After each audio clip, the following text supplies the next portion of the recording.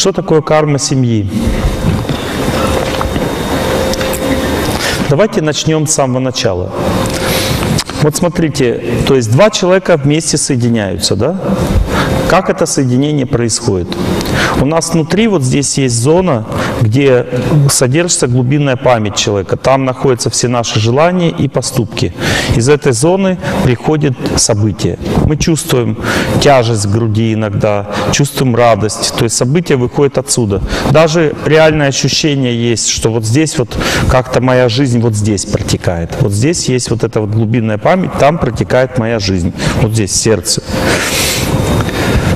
мы сердцем как бы радуемся, сердцем печалимся. Вот здесь сердце чувствуем эту эмоцию жизни своей. Когда люди видят друг друга, симпатия возникает, не сексуальная симпатия, не половая, а симпатия родственная. Есть разные виды симпатий. Есть родственная симпатия, есть половая. Половая симпатия означает постель затащить, и не, даже не, спра- не надо спрашивать, как зовут. Понимаете, сексом позанимались, разошлись, как море кораблей. И в целом вот эта симпатия половая, она не является тем, на что надо вообще обращать внимание. Это просто возбуждение, которое проходит, и человек его забывает. Надо терпеть это все, терпеть просто такую вот активность. Но если человек не, два человека не, не женаты, не замужем, то между ними возникает э, родственно, родственное чувство. Вот родственное чувство, оно не вызывает полового возбуждения. Ну, чуть-чуть, может, вызывает, но не сильно. А в основном оно вызывает чувство, что этот человек очень похож на меня, очень похож. И в этом случае люди общаются сначала, должны общаться друг с другом, понять друг друга, оценить объем работы, принять этот объем работы, а потом уже дальше жениться. И люди раньше в древней культуре, они плакали, вот девушки плакали, когда замуж выходили, не потому что не любят, а потому что понимали, что надо крест свой нести по жизни, крест. Ну, то есть человеком надо пуд соли съесть, понимаете? То есть они понимали, они были готовы на это. А мы на это вообще не готовы. Мы хотим балдеть рядом с человеком. А если невозможно, значит, э, родственники тоже не против. Никто не против, разводимся. Ну, понимаете, то есть э, цена брака стала нулевой, очень низкой. То есть мы не ценим. Мы живем с мужем, мы живем с парнем в гражданском браке, у нас двое детей. Ну, то есть вы не считаете друг друга мужем и женой, а дети тогда кем вас считают? В Швейцарии, допустим, или в Швеции, я, я путаю, в Швеции, по-моему, вообще решили это классный этот вопрос. Родитель номер один, родитель номер два. И дети, дети тоже как бы пола нет. Просто подружки, дружки, дружки. Вот.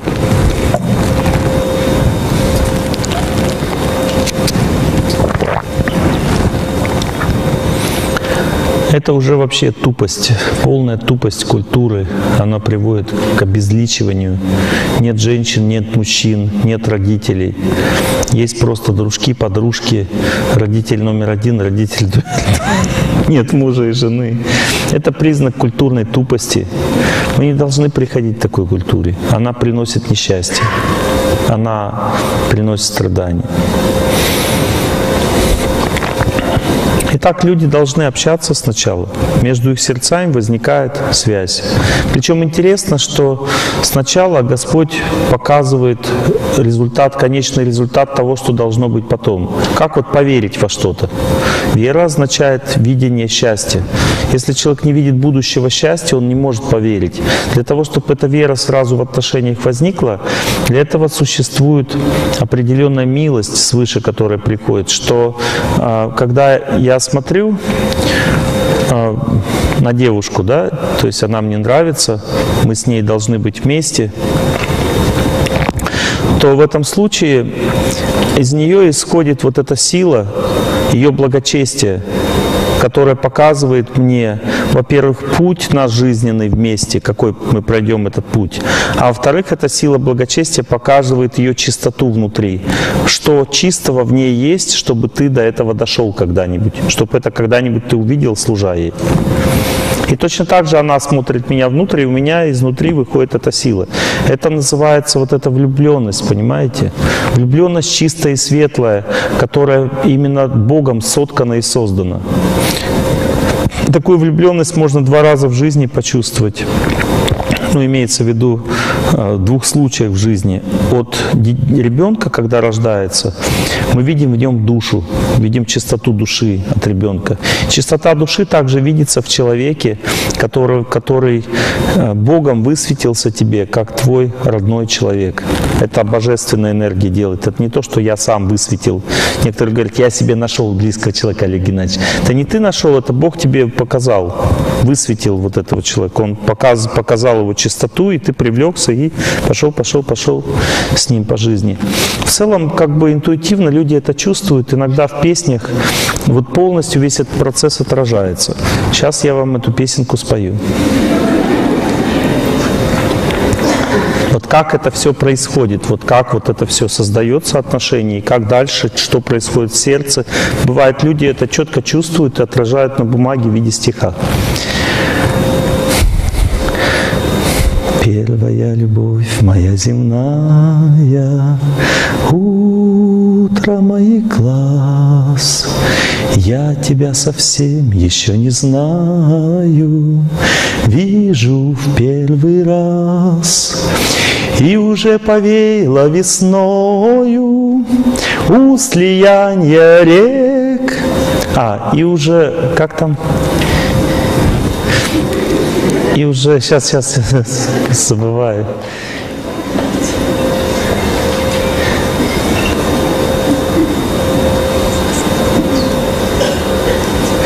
В общем, ты уже повеяла весною, тает первый снег в отношениях. Ты уже повеяла весною, тает первый снег.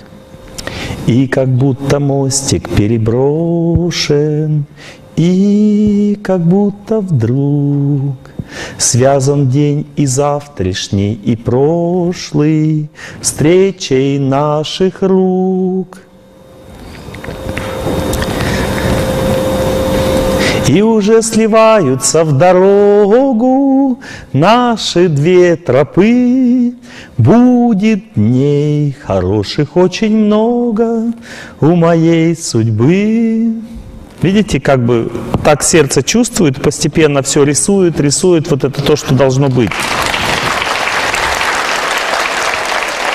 Я уже старею, у меня склероз развивается в голове, поэтому как бы я забываю иногда там какие-то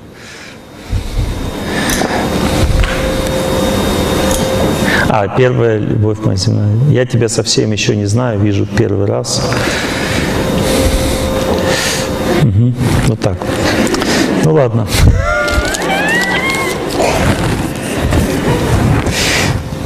Видите, то есть сначала человек чувствует эту энергию счастья, потом он видит судьбу, он чувствует, что соединяются две, в дорогу сливаются наши две судьбы, то есть были, были по отдельно, потом бац, слились, вместе пошли. Будет на этой дороге что? Дней хороших очень много у моей судьбы. Да? Это то, что показывает Господь. Это демо-версия, понимаете? Try and buy. Try означает медовый месяц. Ну, то есть сначала вот это счастье все идет, и мы о, у меня теперь всю жизнь будет счастье. Нет, не всю жизнь. Сначала посмотри демоверсию, как должно все быть, а потом попробуй до этого достичь, дойти до этого в своей жизни. И каждое утро человек должен вспоминать в своем сердце чистоту сердца близкого человека, которого он увидел в первый раз. Это то, что должно быть. А мы вспоминаем только боль, которую он нам приносит. Это означает, что мы не согласны с судьбой. Если мы боль чувствуем от близкого человека, думаем о его ошибках, недостатках в основном, то это означает, что мы не согласны с судьбой. Мы не хотим счастья в отношениях, мы хотим справедливости.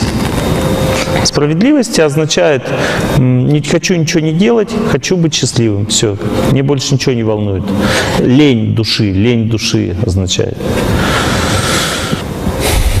Что такое карма семьи? Карма семьи – это объем работы.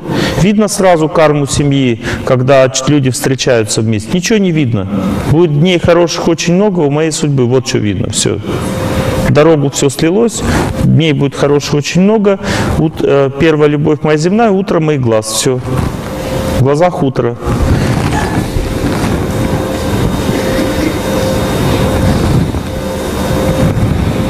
И человек чувствует только счастье и все в этом во всем. Ничего больше не чувствует. Счастье и радость. Демо-версия. Try and buy. Не bye-bye, а вместе придется жить. Вместе.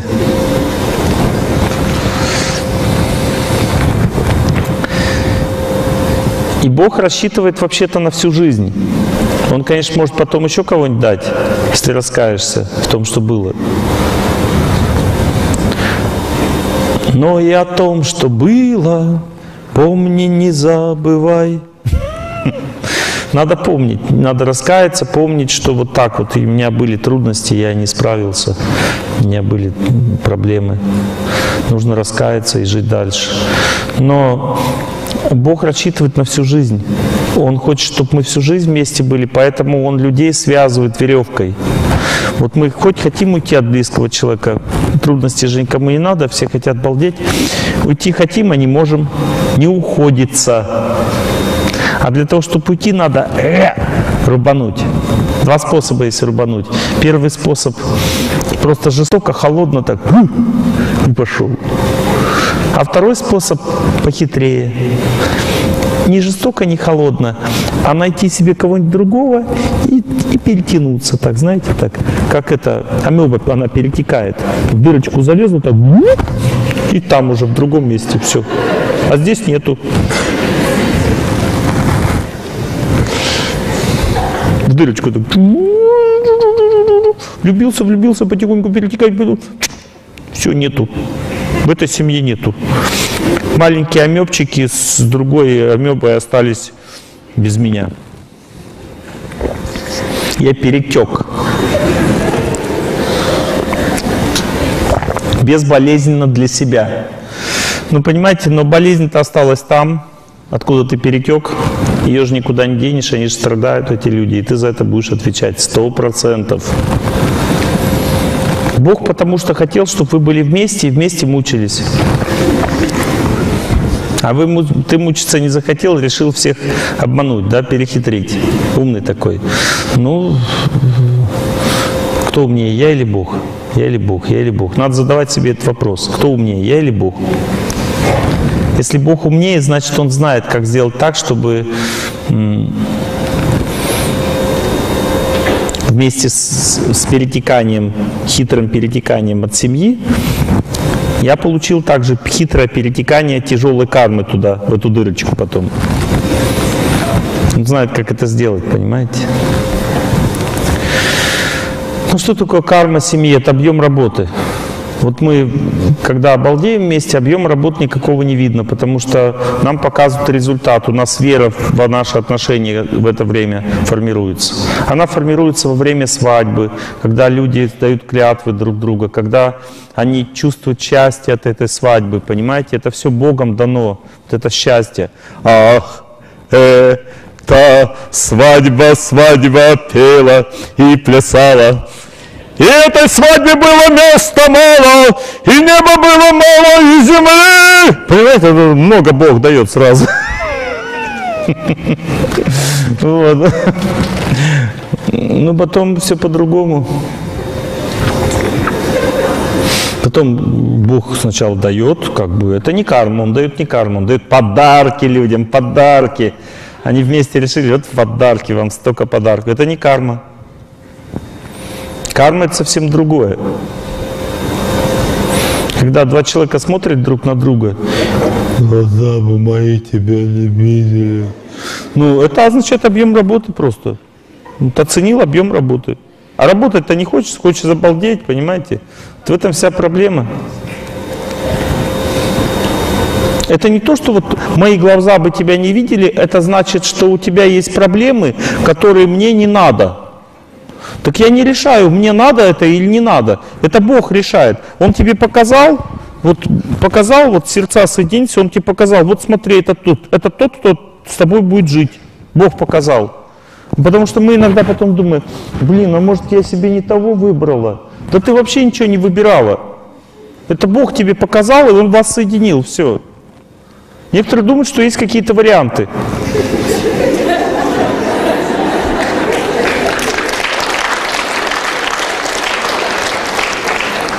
Варианты, конечно, есть, но они запасные, понимаете, запасные. Они там стоят запасные. Когда здесь ничего не получится, Бог даст пинка под зад тебе сначала, помучает тебя, потом запасной вариант, похуже уже. Судьба потяжелее, в запасном варианте тяжелее судьба бывает всегда. Сначала кажется, что лучше вообще-то, а потом кажется, что тяжелее. Но так выбора нет никакого, понимаете? Потому что Бог соединяет людей. Между прочим, Бог соединяет нас, нас сначала с этим телом. У меня тоже нет вариантов. Я не могу из одного тела перелететь в другое. Ну, тело не нравится, раз туда, в следующее. Вот. Он точно так же, как он мне дает вот это тело, он также дает продолжение этого тела. Вы знаете, что такое продолжение моего тела? Продолжение моего тела – это э, моя жена, четыре сыночка и лапочка-дочка. Это все продолжение моего тела, понимаете? Это все я. Только вот эти все люди, они мои домомучители, понимаете? То есть они как бы э, воплощают мою судьбу. Тело тоже, кстати, тоже воплощает судьбу. В нем бывают запоры, например. Все работало хорошо, бац.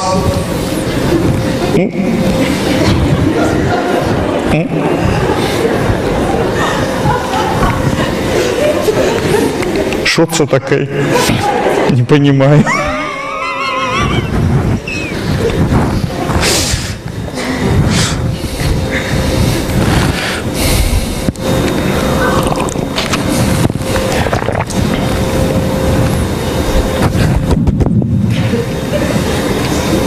Надо работать нормально. Почему не выходит? Можно задать себе вопрос. Так действует судьба. Вот попытайтесь это понять. Мы же как бы, мы же не говорим, Олег Геннадьевич, меня не устраивают эти запоры.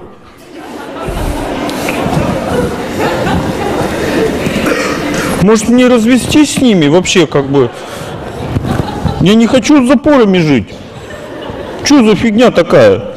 Я вообще-то без запоров э, как бы брал.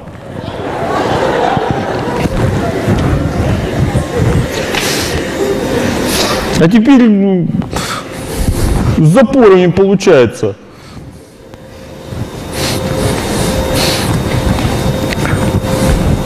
Ты брал такое, как тебе положено. Вот там внутри есть, э, есть три как бы типа страданий. Адхиатмика, адхиботика и адхидайвика. Адхиботика означает, что э, получи и распишись вот эту вот красоту. Твое тело – это адхиботика, то есть тело, вот страдание от тела. Получи, распишись.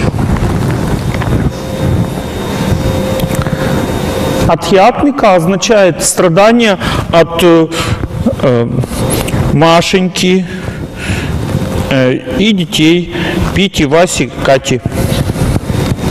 Все, это вот тебе тоже как бы придатки твоего тела, приданные, ответвление. На тонком плане все едино, все соединяется с тобой. Это все твое. Здесь все мое, и мы, и мы отсюда родом. Вот здесь все твое, да. И ты не можешь тоже, вариантов нет, понимаете? Дайте мне другую прямую кишку. Нет вариантов, понимаете? Вот дали тебе, вот живи с, с этим, с тем, что Бог, Бог дал все, живи, это твое. Не хотим. Хотим только счастья. Означает неграмотность просто и все. Это атьятмика. Это значит, что твоя карма действует через души других людей. А есть еще адхидайвика, вообще ну, как бы жесть. Адхидайвика означает э, война. Ну, то есть, есть свыше что-то приходит, понимаете? Вообще, как бы я не рожался в войну. Я не хотел никакой войны. Зачем мне нужна война? Понимаете, она приходит, нас не спрашивает вообще нашу жизнь. И приходится страдать. В военные годы люди жили, и сейчас живут некоторые. Страшная вещь. Я в Красноярске, когда прилетел, меня повезли в баню.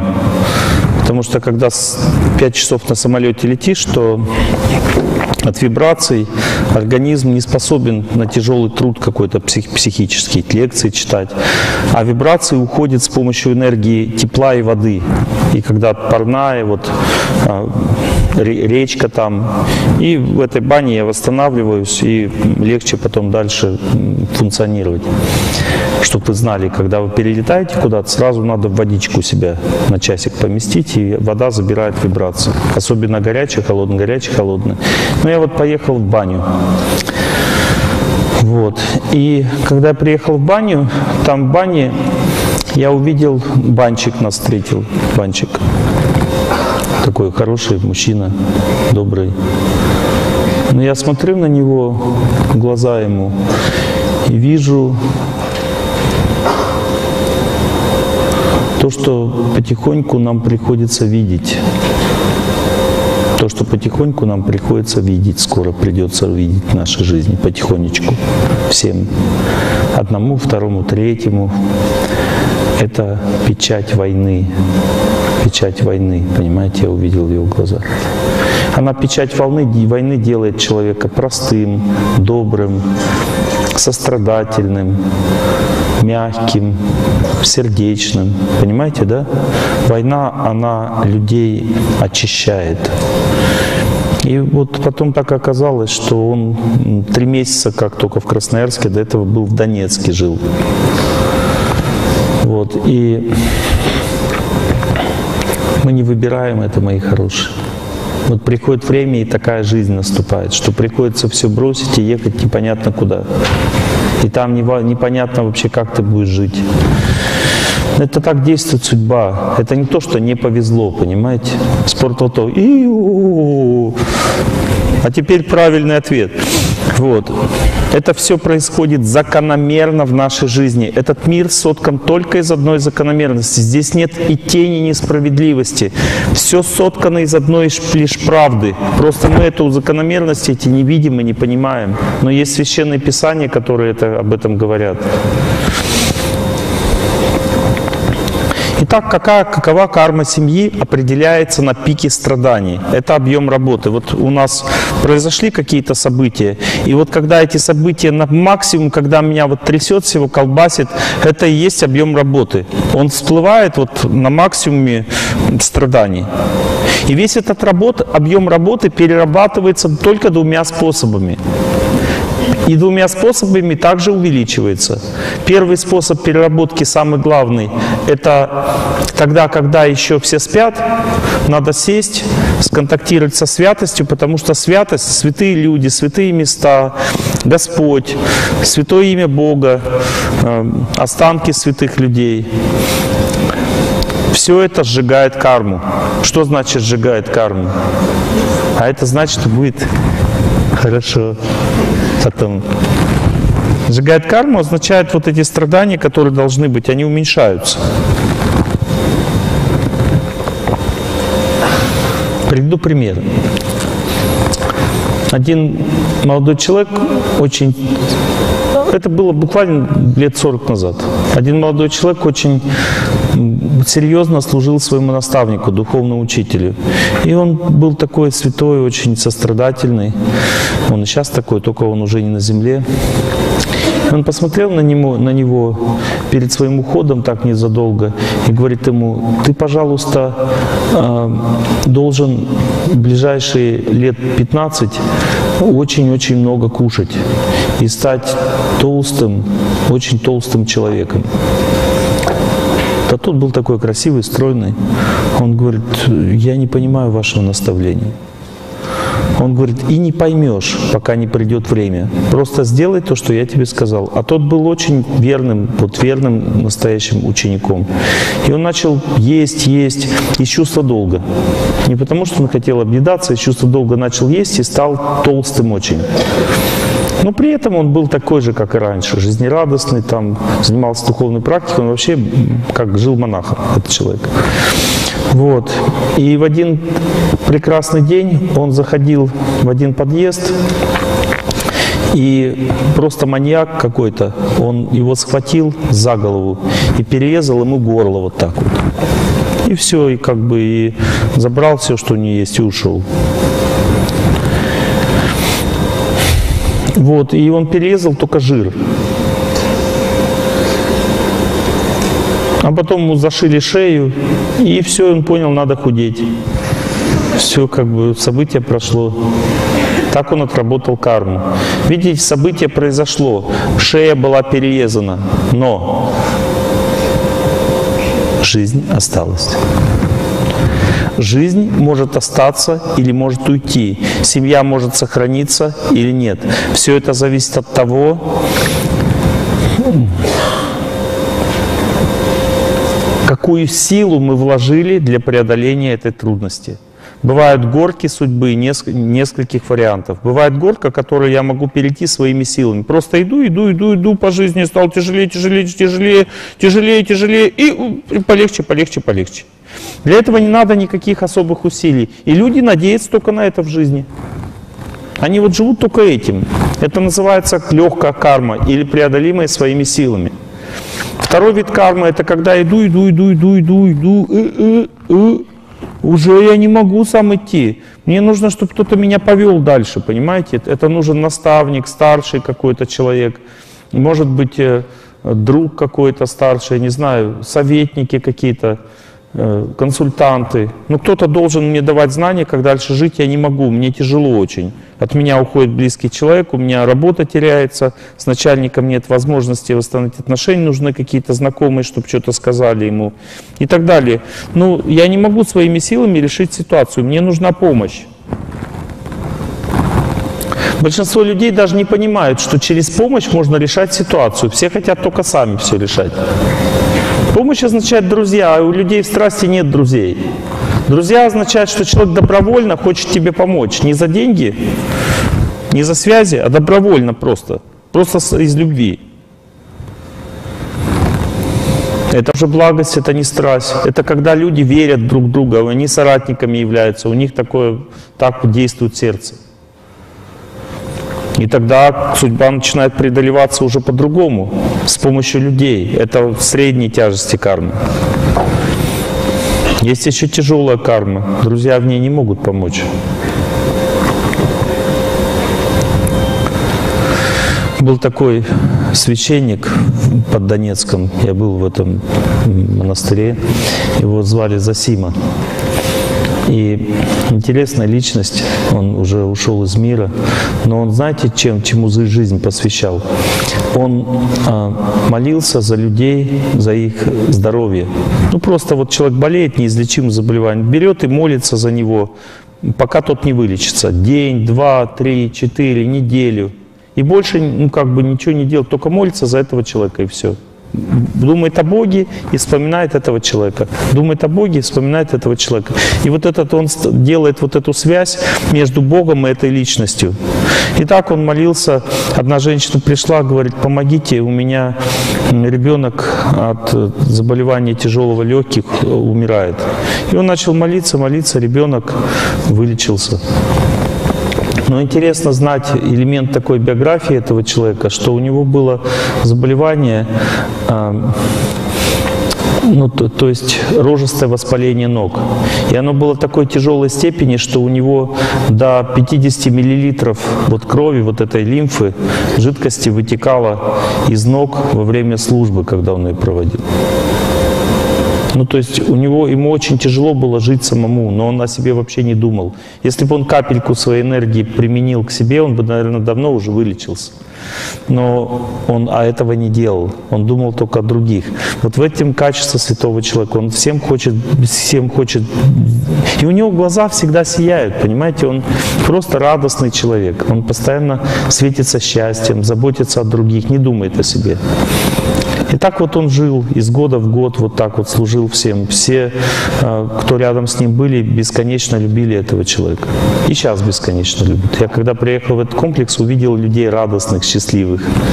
Попил водички там из колодца, понял святое место. Когда водичку пьешь в святом месте, радость проникает сразу в сердце через воду. Для чего это все говорю? Для того, что, чтобы было понятно, что э, есть святость в этом мире. Если человек с ней контактирует, то любая карма может быть преодолима. Это, это тяжелая уже карма. И бывает непреодолимая карма. Она нужна для того, чтобы поставить точку в нашей жизни.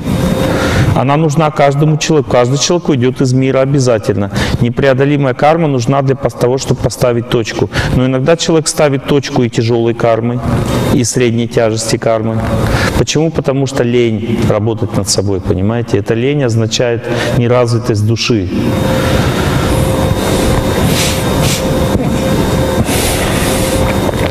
Что такое карма семьи? У каждого человека своя карма. Зачем тогда нужна карма семьи? Вот у каждого человека есть своя карма, но в нашей карме есть какая-то важная карма. Есть какие-то важные моменты в нашей жизни, важные какие-то трудности. Карма означает трудности в основном. Потому что что у нас хорошего, об этом не надо говорить. Вот все хорошее в жизни человека как протекает? Просто так. Вы согласны со мной? Вот все хорошее просто так протекает. Как у тебя дела? Хорошо, у меня хорошо. Ну, слава Богу. Хорошая энергия, хорошие поступки, хорошая судьба протекает просто так, потому что мы с этим не паримся, мы считаем, так оно должно и быть. Мы, понимаете, хорошую энергию надо на благие дела использовать. Вот у тебя хорошее настроение, кому-нибудь отдай его. И тогда это хорошее настроение не зря будет в твоей жизни. Но в основном люди ничего никому не отдают. Они просто живут, вот хорошее настроение, обалдеют.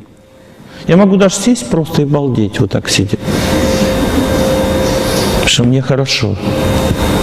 Все, мы просто сжигаем хорошую карму, о ней никто не спрашивает. Никто не спрашивает, Олег Геннадьевич, у меня такая жизнь прекрасная, как мне этим пользоваться? Ни одного вопроса такого не было. У меня сегодня такое настроение, Олег Геннадьевич, кому подарить? Никто не спрашивает вообще. Вопросов таких вообще нет, ни разу.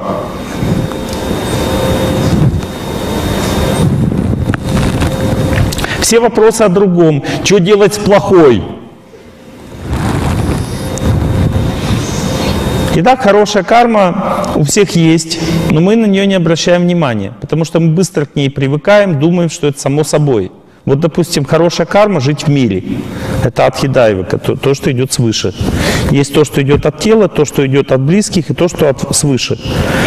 То, что идет от близких, вот не ругаемся, означает хорошая карма. И мы думаем, ну Олег Геннадьевич, что, обязательно ругаться? Я хочу всю жизнь не ругаться. Я так хочу, чтобы лето не кончалось чтобы оно повсюду мчалось за мною вслед. Я так хочу, чтобы маленьким и взрослым удивительные звезды дарили свет. Лето, ах, лето, лето звездное, громче пой.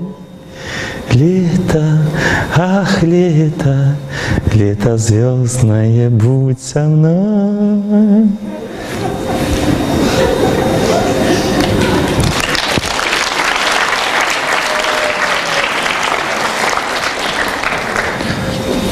Так мы живем, в полном невежестве. Потому что так, такая жизнь это просто сон. Жизнь человека не предназначена для того, чтобы балдеть своей, от своей судьбы, как мы думаем. Жизнь человека предназначена для труда над своей судьбой. А вот эта хорошая карма предназначена для того, чтобы дарить счастье другим. Почему все такие несчастные? Потому что все свою, каждую хорошую карму свою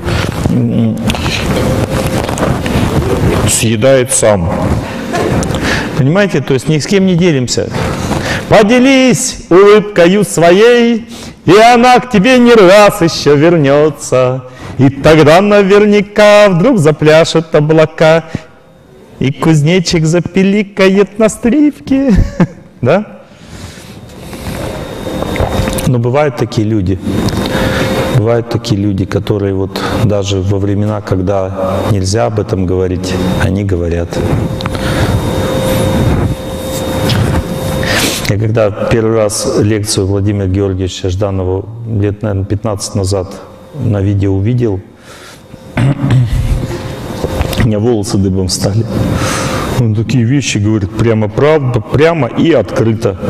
Понимаете, что спаиваем народ, факты вот такие просто, которые наповал бьют, когда слышишь. 400 тысяч вот были такие цифры.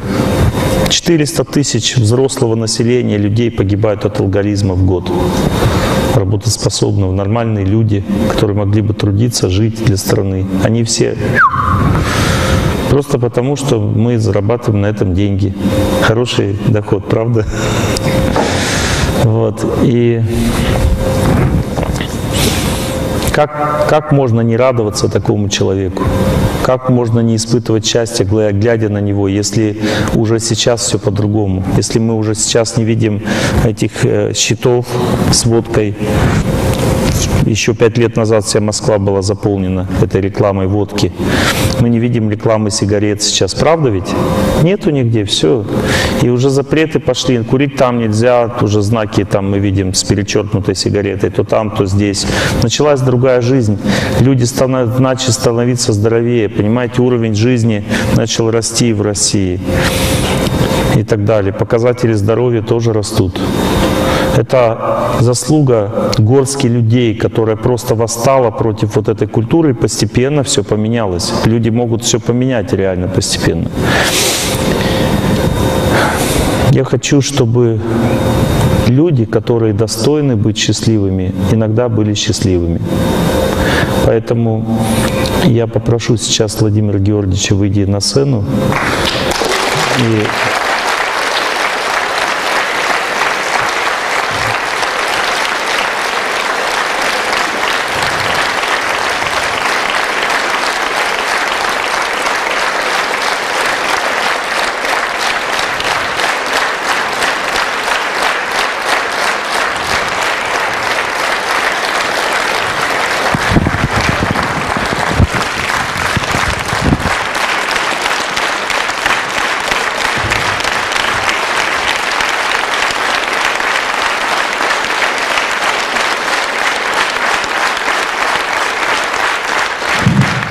меня спрашивают, а, куда делать пожертвования. Вот есть проект «Лучше дело». В свое время а, Медведев подписал, отец Никона, полковник Путин подписал, Владимир Георгиевич начал принимать молодых ребят, ну, всех желающих, как просто распространять диски, просто помогать, давать знания людям, это образовательный проект. Помогите человек. после лекции, подойдите к нему, как можете помочь. Все равно он готов, хочет чем-то помочь другим. Я вас всех запомню. Спасибо большое, Ильич, за добрые слова. Я думаю, что вот если мы будем делиться той радостью, открытием счастьем своего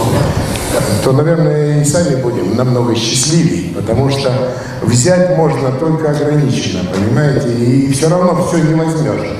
А вот отдать можно только то, что вот оно есть, и если все отдал, и, и чем больше отдал, тем больше счастья. Поэтому Эм, да, у нас есть там стенд наш общего дела. Молодые ребята в Москве великую работу ведут. Вот, есть диски. Кстати, диски сделали альбом, там и наши все материалы по общему делу. И прекрасные лекции всех психологов третьего тысячелетия. Начинаются они с Олега Геннадьевича. Так что подходите там, пообщаемся, кто-то хотел сфотографироваться, руку пожать. Спасибо вам большое за ваше действительно теплое отношение к людям, которые нуждаются в этом теплом отношении. прежде всего, Олег Геннадьевич, давайте ему пожелаем счастья.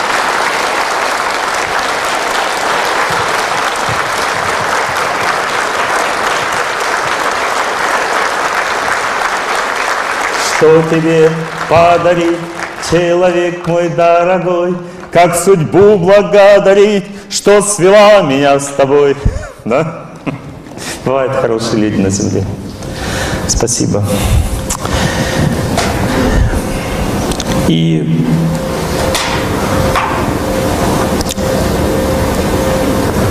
карма семьи означает карма также вот того места, где мы родились, понимаете? Мы же можем исправить это место. Мы родились в стране, где много пьянства. Вот карма моей семьи такова, что бабушка по материнской линии погибла в алкогольном опьянении на пороге своего дома. Другая бабушка по отцовской линии тоже не доползла до дома в состоянии алкогольного опьянения, оставила тело. Дедушка по отцовской линии умер от рака желудка из-за того, что много пил. Брат отца погиб в молодом возрасте от пьянства. Отец тоже выпивает. Это вот моя судьба, понимаете? Это то, что я увидел. И меня спрашивают, Олег Геннадьевич, а вы пили когда-нибудь? Я говорю, за меня уже всего пили мои родственники. Я, я не знаю, что такое алкогольное опьянение. Я не испытывал этого в своей жизни. Я понял, что это не нужно. Еще в молодости. Если мы будем заботиться о нашей стране, мы также будем поднимать и свою собственную жизнь. Понимаете? Жизнь своих детей. Потому что жизнь наших детей зависит от того, с кем они общаются на улице. А если мы культуру будем поднимать нашей страны, нашей жизни, то дети будут общаться на улице по-другому уже, не как сейчас. Итак, карма семьи – это объем работы, который выражается в моем теле, в моих отношениях, в моих родственниках и в том месте, где я живу. Три типа объема работы. Например, у меня внутри есть определенные возможности дарить счастье близким людям. Например, может быть половые расстройства у человека, могут быть, допустим, просто сердце у женщин не такое теплое, чтобы дарить любовь. Может быть, а, психика не способна на вынашивать ребенка, допустим, наш организм э, у женщины не способен, или у мужчины не способен зачать и так далее. Есть какие-то ограничения. Эти ограничения сами по себе указывают просто на объем работы. Понимаете? Потому что бывают ограничения, конечно, непреодолимые. Допустим, у женщины нет вообще никакой возможности зачать. У нее там пропеллировано, все удалено. Но, понимаете, когда женщина начинает молиться, хочу, ну как бы она к Богу обращается, молится, думает о нем. И я хочу подарить своим близким, своему мужу ребенка. Думаете, Бог не даст ребенка, даже если у нее нет там ничего? Он ей даст ребенка. Потому что ребенка не обязательно получить изнутри. Он может прийти из детдома, допустим. Но черствость сердца, непонимание не дает понять, что это тоже родной человек приходит оттуда. Вот мне девушка в записке спросила, Олег Геннадьевич, вот у меня тяжелая карма у семьи, а я возьму ребенка на воспитание, не будет ли ему жизнь тяжелее? Так ты, моя хорошая, своего ребенка там возьмешь. Потому что мой ребенок может прийти изнутри или снаружи. Понимаете, в зависимости от того, как судьба действует. Если человек не, ребенок не может прийти изнутри, Бог дает снаружи. Потому что веды говорят, что у человека есть семь матерей. Мать, которая дала зачатие, зачала, выносила ребенка, это родная мать. Та женщина, которая вскормила ребенка, также родная мать. Та, которая воспитала, это родная мать. Мать-Земля — это наша родная мать. Если есть правитель, святой правитель на земле, его жена также мать. Если есть у тебя священник или наставник, его жена также мать. И если ты пил молоко чье-то, например, коровы, то корова также твоя мать, которой ты пил молоко. Мы этого не понимаем, нам трудно это понять. Как, допустим, женщина вырастила ребенка, и сынок у нее спрашивает, мамочка, почему, ну, почему тети говорят вокруг, что ты мне не мама? И она говорит, а потому что я тебе не родная. Это тупость просто, понимаете? Родная — это та, которая отдала свое сердце. Вот почему люди там пам-пам-парам-пам-пам-пам-пам, бац, стали родными. Вот сразу бац, и стали родными. Признаешь? Признаю. Подписался. Все, дали документ. Теперь родные. Родные или не родные? Кто скажет, что не родные? Моя жена, моя жена, моя, мы родные, все, все подписано. Так, мои хорошие, а кто более родной? Ребенок, который прожил с вами 20 лет, или человек, который просто с вами повстречался, там погулял, расписался? Кто более родной? Ну подумай, подумай, шевелите, шевелите. Кто более родной? Ребенок, с которым ты прожила жизнь, правильно? Так почему ты и говоришь ему, что ты не родная мама? А, я понял. Родным можно стать только тогда, когда ты вылез изнутри. Тогда мужа тоже надо пропускать так же.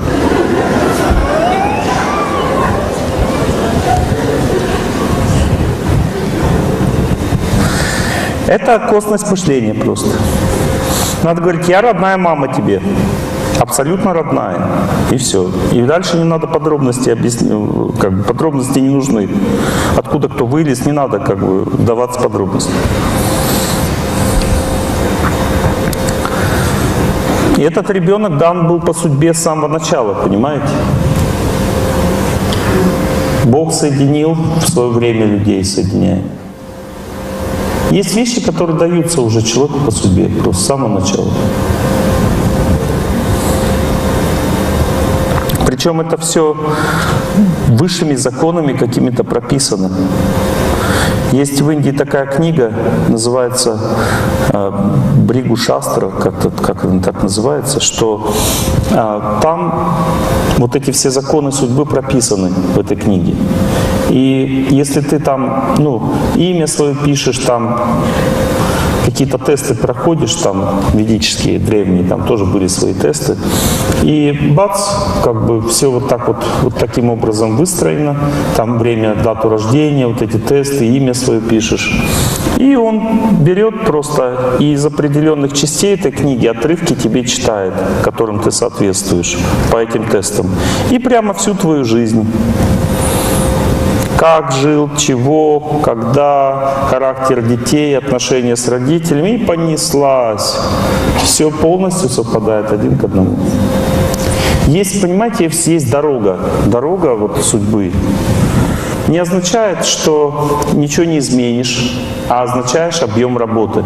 Вот ты идешь по этой дороге, и можно идти по-разному. Можно ползти на четвереньках по ней. Означает, ничего не хочу делать, ничего не хочу менять, страдаю, мучаюсь, мечтаю. Это называется жизнь невежестве. Или пью, бухаю, курю наркотики, занимаюсь теневым бизнесом, бандитствую там и так далее. Это жизнь неведности. Человек по судьбе, как по наждачке идет, понимаете? Каждое событие страдания, каждое событие страданий, все надо заливать водкой для этого. Вот. Дальше второй вариант. Человек уже на четвереньках ползет. Он очень сильно привязан ко всему, что судьба дает. Судьба это что такое? Это наше желание, она в виде желаний выходит хочу то, хочу все. И человек постоянно свои желания удовлетворяет. Он не может отвлечься на, на то, чтобы желать другим счастья, заботиться о ком-то.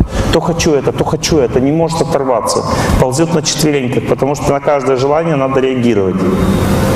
Это жизнь страсти. Люди страдают неимоверно, живя в страсти, потому что они скованы сильно. Каждое желание же надо отрабатывать, надо работать за каждое желание. Захотела то, надо деньги, захотела все, надо связи, захотела пятое, надо то, все, и постоянно нужно трудиться, пахать. И люди в благости, они идут по жизни. Не ползут, а идут. Почему? Потому что они, э, человек в невежестве куда смотрит? Под ноги. Он смотрит на свои желания. Человек страсти куда смотрит?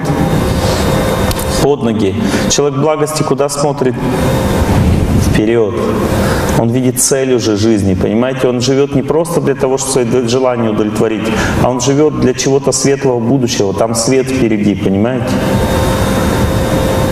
И он думает о Боге, думает о счастье других людей, думает о том, чтобы страна жила счастливо и так далее. Очень другие совсем идеи в жизни такого человека. И когда такие идеи другие, тогда и высшие силы начинают ему помогать, очищать его дорогу. И те препятствия, которые раньше были непреодолимы, человек легко преодолевает с помощью высших сил. Святость дает ему сжигание судьбы в сердце, то есть у него возникает в жизни удача. Что такое удача? Близкий человек должен был уйти, уйти не может, потому что судьба стала другой, она становится другой в результате молитвы. Высшие силы дают знания человеку. Он чувствует, как правильно поступать, меньше ошибается, идет правильнее по дороге своей судьбы. Дальше есть также люди, которые благодарными становятся за то, что ты для них делаешь. Если ты служишь, служишь людям, не покладая своих рук, как можешь, заботишься обо всех вокруг, люди тебе помогут. Вот я недавно узнал, что, оказывается, я безработным не буду и нищете не буду жить в этой жизни. И без дома тоже не буду. Знаете, как я узнал? Я в каждом городе спрашиваю, вот если меня выгонят и как бы нигде не буду, кто даст мне работу сразу? Ты 50? Олег дадим. Хорошо, а кто приютит меня где-нибудь, уголок даст пожить где-то? Сразу человек 10 ну, подняли. Ну, то есть, видите, я уже не буду нищим, потому что я не думал о себе, там, не думал о своей жизни, о своем жилье, а постоянно думал о том, как люди, чтобы были счастливы. И это уже от людей идет судьба, понимаете, удача идет от людей уже. Когда ты о людях заботишься, Богу молишься, удача от Бога идет. О людях заботишься, от, от людей идет удача. И также нужны аскезы. Что такое аскезы? Аскезы – это когда ты заботишься о теле посты соблюдаешь, статические упражнения делаешь, то есть какие-то упражнения, которые прочищают каналы. Вот, дыхательные упражнения делаешь, закаливаешься, даешь возможность телу как восстанавливаться на природе там, и так далее. Тело нуждается тоже в здоровье. Таким образом, есть три аспекта жизни, связанные с телом, связанные с родственниками и связанные с Богом и с другими людьми. Понятно, да, система? И все это отдает, свои, дает свою отдачу назад. Это называется милость или удача в жизни. Но люди, которые сосредоточены только на своих проблемах, Олег Геннадьевич, вы будете сегодня говорить о том, как сделать так, чтобы не разводиться. Когда человек постоянно сосредоточен на своих проблемах, удачи такой жизни нет. Понимаете? Быть не может. Жадность фраера разгубила. Отвлекитесь от себя. Думайте о других больше, молитесь. Как это сделать? Как можно думать о других? Сковывает к себе боль. Боль судьбы заставляет думать о себе. Но если человек начинает молиться святому человеку, то у него вот эта благодать Божья растекается в сердце. И что она делает? Побеждает судьбу. Как это почувствовать победу? В виде спокойствия в сердце. От моего сердца к сердцу близких людей переходит спокойствие. И они как ватрушечки все становятся. Они перестают ругаться, понимаете? Человека не изменишь. Вот вы меня спрашиваете, как мне поменять мужика? Он к сестре постоянно тянется, а не ко мне. Не надо это ничего менять. Вот если вы начнете молиться, тогда он, его сердце наполнится радостью от вас, И он к вам будет тянуться столько же сначала, как к сестре, а потом к вам даже больше, потому что вы жена. Но для этого надо просто наполнить сердце любовью, понимаете? И карма перестанет действовать плохая. Она перестает действовать, когда мы выполняем свои обязанности в этом мире перед другими, а не перед собой, не перед собой. Что такое карма семьи? Это то, что лежит между людьми. Это не то, что лежит в моих близких. Я вас уверяю на сто процентов, и себя также уверяю в этом. То, что я вижу в близком человеке, его недостатки, не отражает его как личность. Это просто его реакция на мою судьбу. И все. Потому что с другим человеком будет проявлять совершенно другие недостатки, поверьте мне. Именно так это и работает. Любой человек, живя с другим человеком, начинает проявлять не полностью как себя, как со мной, а как-то по-другому. Понятно, да, система? Что человек просто реагирует на то, что связано лично со мной. Но интересно знать, что у него тоже не зря жизнь со мной. Не зря. Понимаете, что такое карма семьи? Это вот тот клубок, который отражает жизнь каждого из нас. Ну, то есть так Бог устраивает в этом мире, так незримо, что Он объединяет людей по их судьбе. Ну, есть такой анекдот, самолет начал падать, и все начали сильно молиться. Господи, помоги, Господи, помоги. И так как все молятся, как бы, он, Господь сразу как-то так ну, обескуражился. Он говорит, ну, молитесь поменьше, я же не зря вас всех три года собирал здесь, в этом самолете.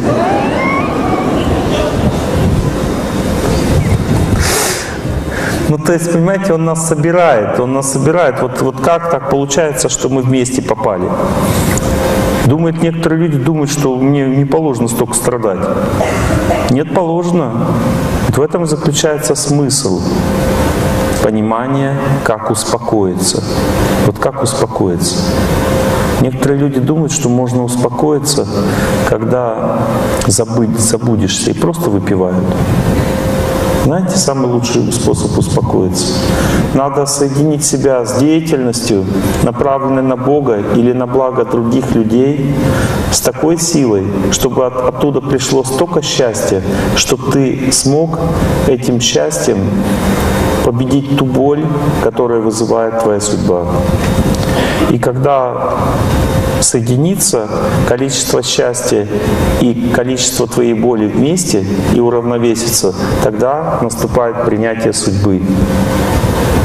Вот человек молится, молится, заботится о других, пытается не думать о себе. И в какой-то момент, бац, вот здесь наступает спокойствие. Вот это спокойствие означает, что муж будет вести себя лучше, дети будут вести себя лучше, не потому что они исправились. Исправление означает более высокий уровень отношений. Некоторые спрашивают, Олег Геннадьевич, сделать так, скажите, как исправить своего мужа. Это более высокий уровень отношений. Чаще всего в нашей жизни об этом речь не идет. Потому что людям в страсти, а мы в основном живем в страсти, не, нет возможности исправлять друг друга. Исправление означает благостная жизнь. Оно основано на взаимопонимании и любви. Когда люди понимают друг друга и любят, несмотря на трудности, то есть что это значит? Что это значит, что они выше кармы стоят уже. Они ее уже переварили и уже живут выше кармы. Люди, же, которые живут выше кармы, живут в любви.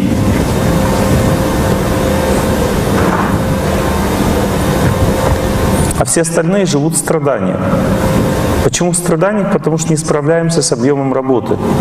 Справиться можно только если надеешься не на свои силы, а надеешься на силы свыше.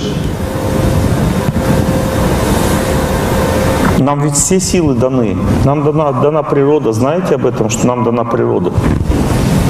Это огромная сила. Вы представить даже все многие не можете. Я недавно начал корнями лечить корень прикладываю человеку к спине, болваночку такую с корня, она действует где-то часов 15-16 сильно. И вот корень обладает энергией огня. Я такие чудеса вижу в организме, понимаете, такие болезни сгорают, которые, ну, вообще как бы по факту не должны быть вылечены. Ну, то есть огромная сила, просто эта сила берет и сжигает болезнь тяжелую. Это, все в природе предусмотрено, понимаете, мы не можем пользоваться. А почему мы не можем пользоваться? А потому что люди имеют разные уровни сознания. Вот смотрите, человек, если живет только своими радостями в этой жизни и хочет наслаждать свое тело, это называется телес, телесная концепция жизни. Телесная концепция жизни означает грубый материализм. Такой человек, который вот является грубым материалистом, он может понимать только материальные вещи. Он может лечиться только таблетками, химией. Почему? Потому что он дальше химии не мыслит. У него нет понимания, что есть тонкий мир, психический мир. Не грубый, а более глубокий.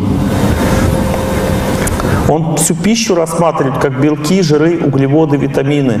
Он не понимает, что у пищи есть психическая энергия, что пища бывает невежественная, которая приносит страдания, страстная, которая приносит напряжение, и благостная, которая приносит счастье. Он этого не понимает, человек. Он понимает, что есть химия только, понимаете?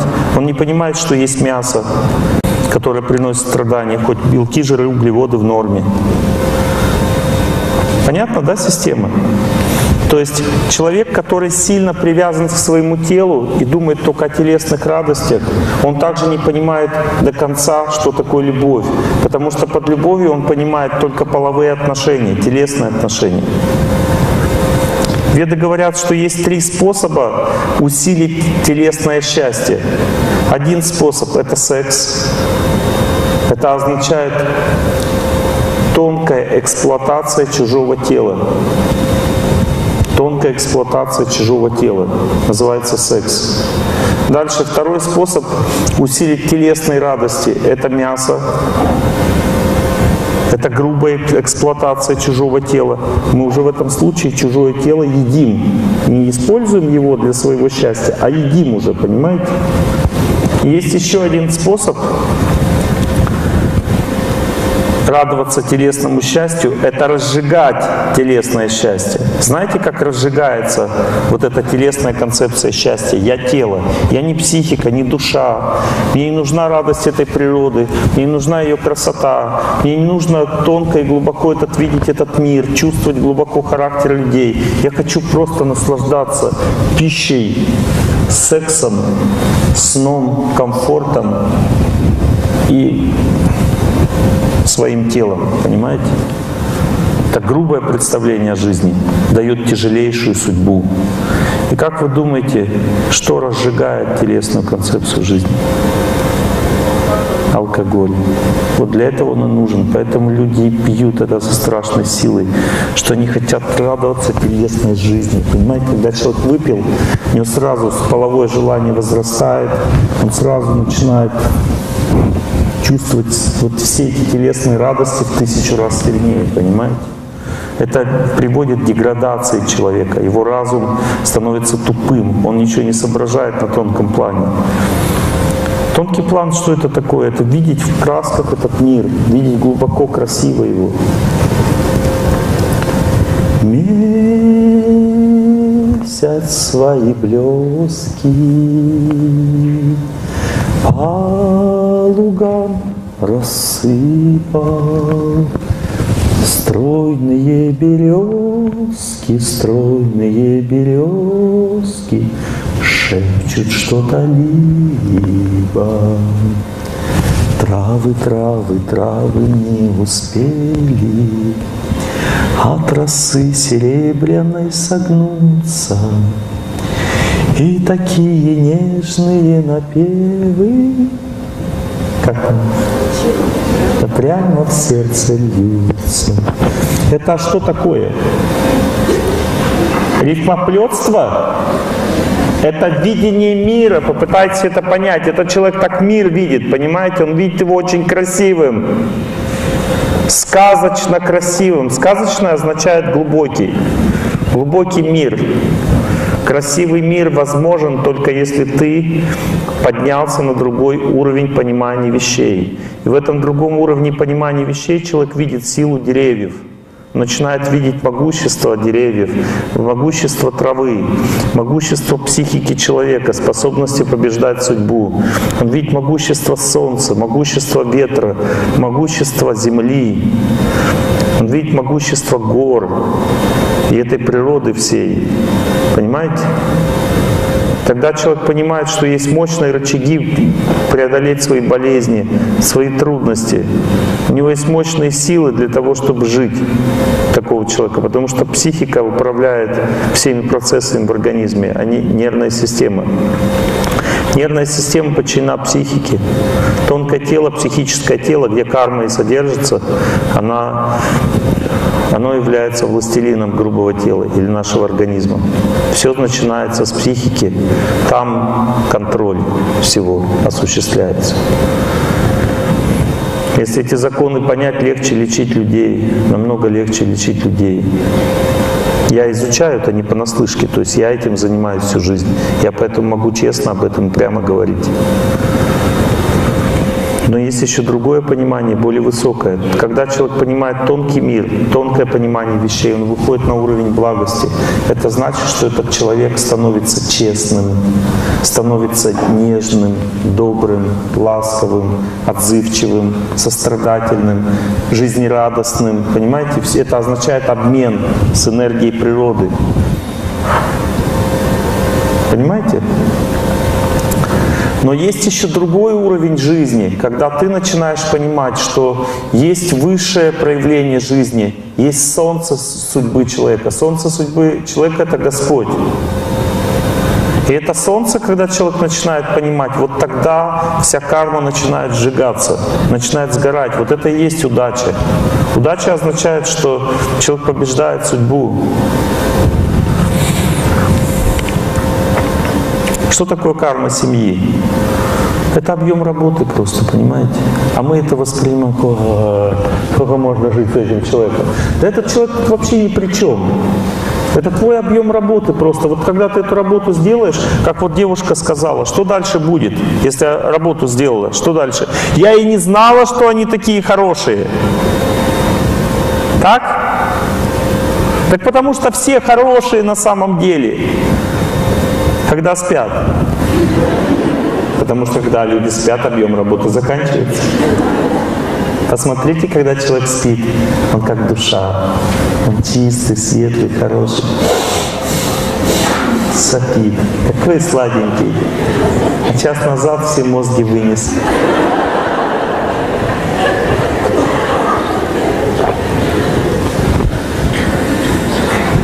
Понимаете, о чем я говорю? Да?